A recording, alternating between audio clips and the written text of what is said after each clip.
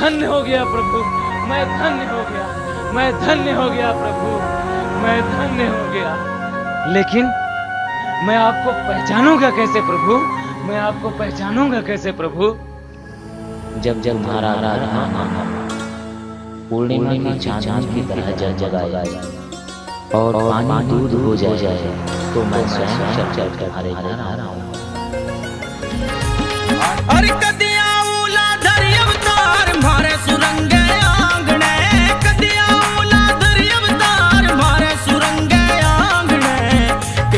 के हो सी होसी